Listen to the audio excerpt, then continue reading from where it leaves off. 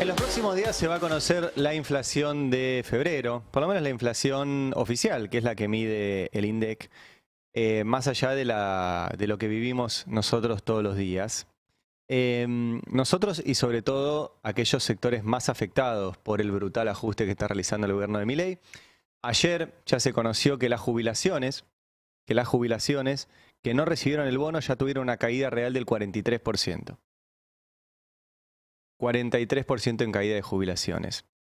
Ahora, en vez de hablar de esto, el ministro de Economía, Luis Caputo, publicó un tuit que se los quiero mostrar porque es realmente violento. Que dice, excelente reunión ayer con los productores de consumo masivo. Coincidencia en que los precios van a seguir bajando y que es importante transparentar el precio real por unidad de los productos de manera que puedan ser capturados apropiadamente por el INDEC. Eh, bueno, ponelo de vuelta porque es muy impresionante. Eh, dice los precios van a seguir bajando. Eh, si estamos hablando el mismo idioma, significa que vienen bajando los precios. Bueno, los precios no vienen bajando, todo lo contrario, suben. ¿Y a qué hace referencia el ministro Caputo de la reunión de ayer con los productores? Bueno, efectivamente se reunió con las empresas, las tres niñas, Molinos Río de la Plata, Molinos Cañuelas, Quick Food, Establecimiento Las Marías, Procter Gamble, Johnson Johnson, Arcor, Mondelez, Masteloni, L'Oreal, Danone, Unilever, eh, Coca-Cola, Nestlé, Quilmes y Compañía Industrial Cervecera. Esas son las empresas que participaron de la reunión y que están muy contentas porque lo que hizo el ministro Caputo fue compartir una noticia que decía que las empresas están muy contentas y dice, se repasaron las medidas de desburocratización y normalización del comercio interior y exterior, como la no renovación de los precios justos, la derogación de la ley de abastecimiento, de góndolas, el observatorio de precios, la finalización de fideicomisos y la derogación de regímenes informativos que solo incrementaban los costos en las cadenas productivas. En este sentido, se destacó que estas medidas permiten, atención a esto, reducir costos, mejorar la competitividad y profundizar el sendero de desinflación. O sea, el tipo se juntó con las empresas que producen comida y productos de higiene, que son las que les acabo de mencionar, y estaban muy contentas por el DNU. ¿Qué hizo el DNU? Derogó la ley de abastecimiento, derogó la ley de góndolas, derogó el observatorio de precios y eh, derogó los regímenes informativos. Por ende, les dejó hacer lo que quieran y sin ningún tipo de control. El tuit este de Caputo dice también que tiene que reflejar el precio real por unidad, de manera que puedan ser capturados apropiadamente por el INDEC. ¿Por qué dice esto? Porque después tuiteó de vuelta, y se los quiero mostrar, y dice, claro, a eso me refería. Muchas empresas les pasó que pricearon, usa estas palabras, pricearon es que subió el precio, básicamente, sus productos esperando un escenario de catástrofe que no se materializó. Hoy tienen productos de lista muy altos que la gente no convalida mayormente y que ya han empezado a bajarlos, pero por vía de promociones, del tipo 60% eh, de descuento en la segunda unidad o hasta 2 por 1. Estos descuentos, si bien no los capta el INDEC por su modalidad lógica de medición por unidad, son una clara señal de desaceleración inflacionaria. O sea, Caputo dice que está bajando la inflación no porque los precios unitarios dejen de aumentar, sino porque en la segunda unidad te descuentan el 60% o te dan un 2 por 1.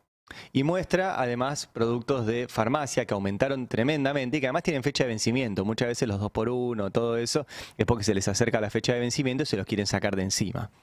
Eh, y muestra un video con eso. Eh, se ve que está en un parece una de esas Pharmacity o algo, con los descuentos que hay en algunos productos. Entonces, ya están preparando un escenario para que cuando el INDEC, que en los próximos días dé los números de inflación, te digan, bueno, no, en realidad los precios bajaron, pero como hay 2 por 1 o 40% de descuento, no lo mide el INDEC. Bueno, no es así. No es así.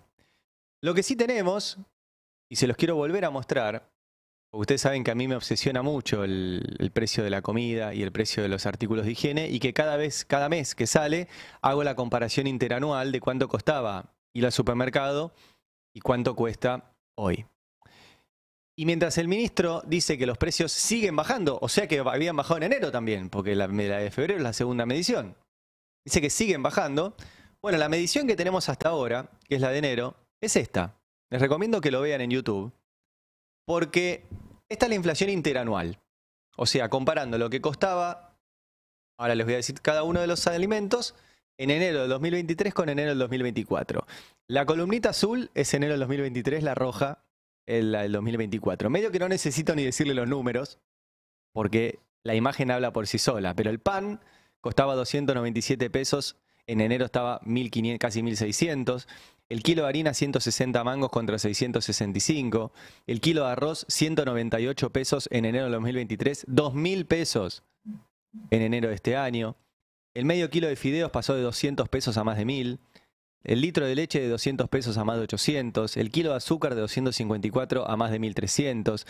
El medio kilo de sal pasó de 125 a 638. La yerba, tomar mate, el medio kilo de 400 mangos a 1.700 el jabón en pan de 151 a 644 y los pañales, que son parte de las empresas que se juntaron con Caputo, de 573 las 10 unidades a 269. O sea, cada pañal pasó de 57 mangos a 270. Y si lo miramos también en términos comparativos, o sea, inflación contra inflación, ustedes saben que la inflación a enero interanual fue del 254%, altísima. Bueno, en estos mismos productos, y también hice el cuadro para que se entienda, tienen en rojo la inflación general y en azul cuánto subieron estos alimentos. El pan, la harina, el arroz, los fideos, la leche, el azúcar, la sal, la hierba, el jabón y los pañales. Todos estuvieron por arriba de inflación. Todos. Y hay algunos que se destacan fuerte. El kilo de arroz aumentó casi mil por ciento. El kilo de arroz, casi mil por ciento. Los fideos aumentaron un 443% contra un 254% de inflación. El azúcar aumentó un 418%. Entonces es una, es una matemática muy curiosa la del ministro Caputo donde los precios bajan para arriba. Porque están bajando para arriba. Una cosa es una desaceleración, que es la brutalidad de diciembre y enero, que remarcaron la comida y eso generó una caída, y lo hemos visto en los números de CAME, en la venta minorista de comida de más del 30%. O sea, dejamos de comprar comida. Más del 45% en caída de compra de medicamentos. Dejamos de comprar medicamentos. Y otra cosa es que los precios sigan bajando. Los precios no siguen bajando, no bajaron y no van a bajar mientras esto siga así. Por ahí dejan de subir a la velocidad que venían subiendo. Pero este es el escenario que plantea el ministro Caputo. Y los números dan absolutamente otra cosa. Para Caputo, la inflación sigue bajando. En los próximos días estará el número del INDEC. Y ya están preparando este discurso que dice, no, en realidad el INDEC no toma las promos. No, no, el INDEC toma lo que tiene que tomar. Y lo que pasa es que los productos bajan para arriba explicar los hechos y su importancia.